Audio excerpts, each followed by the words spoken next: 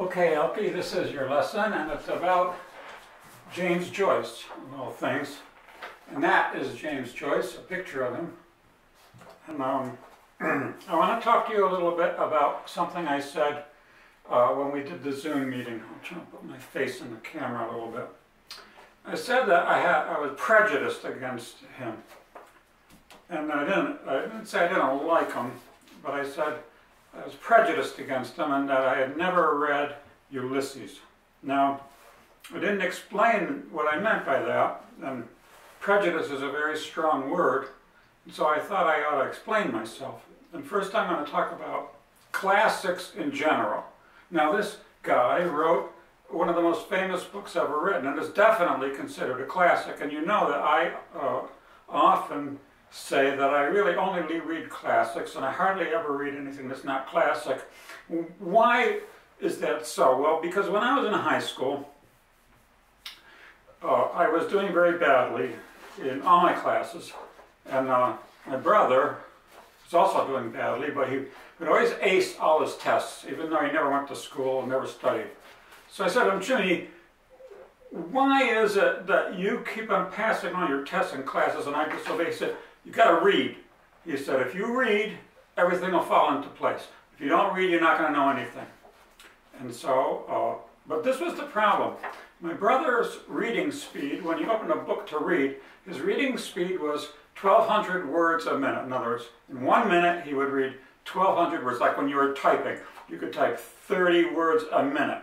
Well, imagine reading 1,200 words a minute but actually, probably he could read faster than that because that's how fast the machine went that you could test a person. Didn't bother to go faster than 1,200 words because nobody could read as fast as my brother.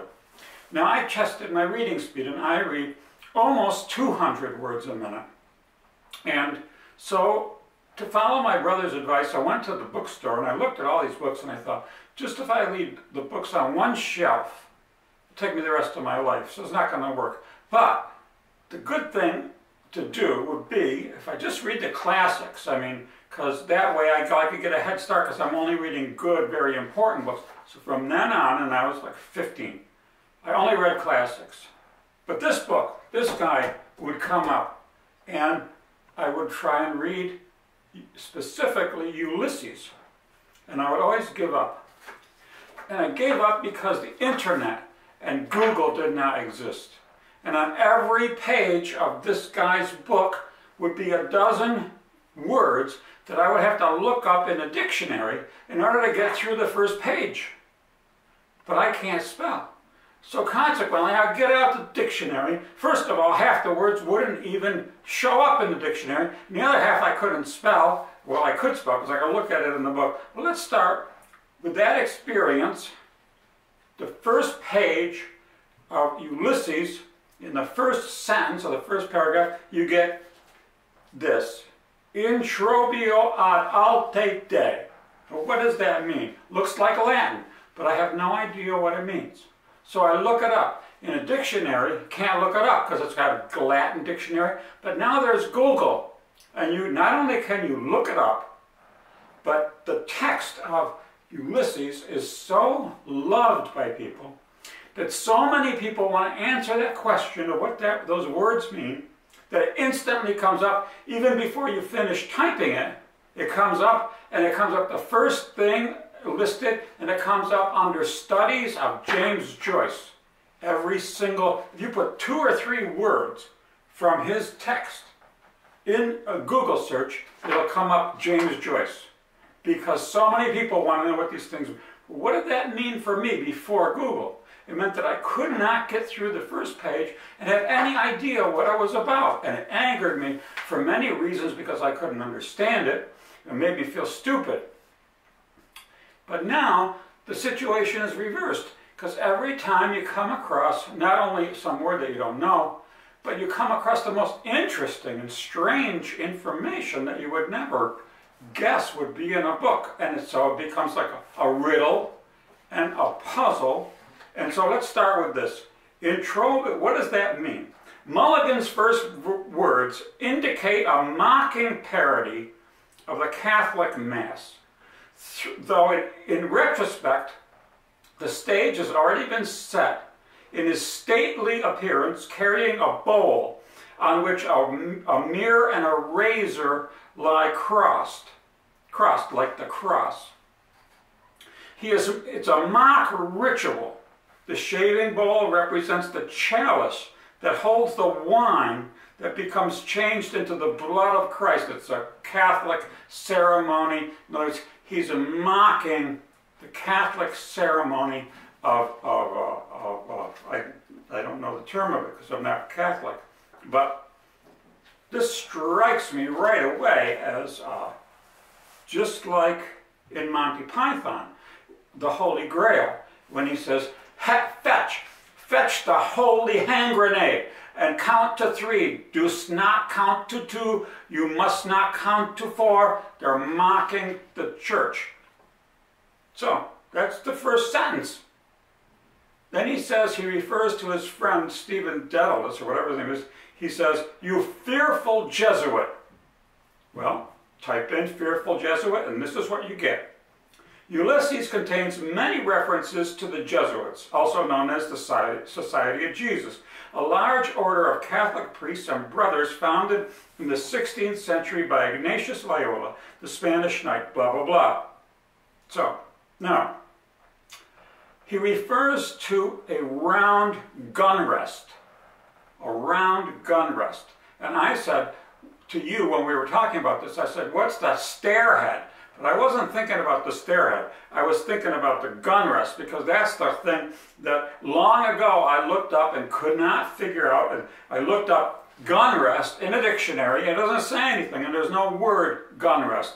But look in Google under round gun rest, immediately comes up. James Joyce used this term in the first page. The novel's first action, Buck Mulligan, came from the stairhead. The stairhead, that's this they even, in, in, in, in Google, they show you a picture of it. That's the stairhead he's talking about. Situates the reader on the roof of a small military tower in Sandycove, seven miles from Dublin, on the seashore shores of Dublin Bay. Mulligan then stands at the stairhead and calls down the dark winding stairs of a steep stone passage that connects the tower's topside battle station to the living quarters. This is an apartment house that used to be a military installation. It's around and down below are places you could live. Finally, he moves to the raised stone platform that once held, that's this, that once held a swivel cannon, but now, now serves as a makeshift altar. He came forward and mounted the round gun rest. So let's go on. And get the point. Next page. The genuine Christine. He says, Buck says, this is the genuine Christine. You're going to look up genuine. Everybody knows what genuine means. Christine is a woman's name, but it's spelled with a small c. So you, you Google it. All you got to do is Google genuine Christine and researchers of James Joyce will tell you all about it. For thus, O dearly beloved, is the genuine Christine, body and soul and blood of Onus. Mulligan's words imitate the Catholic priest's action of presenting the consecrated host. Now, you might not have any idea what that is, but in the Catholic Church, when you are consecrated, they ask you to drink wine and eat a wafer, and the wine is Jesus' blood and the wafer is his body. And it's a big deal in the Catholic Church. And, and he was raised not only as a devout Catholic, but all of his schooling was Catholic. And so he's, the whole first two, two or three pages is mocking and making fun of his upbringing in the church, and ridiculing it and joking about it. That's what all that first several pages is about.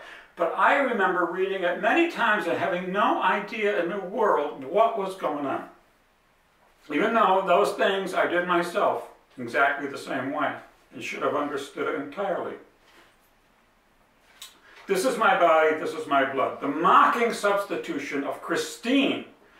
He mocks, he substitutes Christine for Christ. In other words, a woman instead of a man. briefly makes Mulligan's ceremony a satanic black mass. Since this inverted mass is traditionally celebrated, in other words, a black mass, a reverse mass, a ridicule mass, is done over a woman's body. Then, a little further down, it says, a little trouble with those white corpuscles. Just, I typed in trouble with those white, and up came on Google guessing for me a little, put it in already because so many people want to know what that means. The white corpuscles refer here to blood cells. In other words, Mulligan is having trouble transubstantiating. Transubstantiation is the changing of one thing to another. In other words, wine to blood is transubstantiation. A wafer to bread to, to the body of Christ is transubstantiation. Making one thing into another, like uh, we do on, on a computer. Mulligan is having trouble transubstantiating his bowl of lather into Christ's blood and is asking the congregation, and there's people who are listening, which is only uh, the other character, to bear with him. Gold points, next one, gold points Christos, C-H-R-Y-S-O-S-T-O-M-O-S. The Greek word, which I just spelled, is that in, in the 10th paragraph of Telemachus compounds chrysos, gold, with stoma, mouth, several orators of antiquity acquired this epithet, golden mouthed, for how they spoke. Notably, St. John Chrysostomos, a renowned speaker and one of the three holy hierarchs of the Greek Orthodox faith. The one odd, the, the odd one-word sentence appears to com comment on Mulligan's even white teeth, which I don't have, glistening here and there with gold points. In the previous sentence, it is the first appearance in Ulysses of the book's revolutionary stylistic device of interior monologue, often mislabeled stream of consciousness. Interior monologue is to write what somebody's thinking, uh, even though it doesn't relate to the story. Finally, the aunt, this is a line, and I moved to the third page because I wanted to conclude with this because it brings it back around to you and to the things that you write. The aunt thinks you killed your mother. In brief, Mulligan says, the aunt thinks you killed your mother. That's why she won't let me have anything to do with you. Then he himself reproaches Stephen. You could have knelt down, damn it, Kinch, you, when your dying mother asked you. Here he re resembles his model, Oliver, who casually declared to all his acquaintances that Joyce was mad. Now, this is, gets confusing. I'll just summarize it. when James Joyce's mother died, his family was at the deathbed. And they asked James to kneel down and pray for his mother, and he refused to do it. And therefore they said that James had killed his mother. but James said that he could not because he feared mock, he, he, he feared mock piety. In other words, he feared to be religious falsely, which is odd because the whole, all the first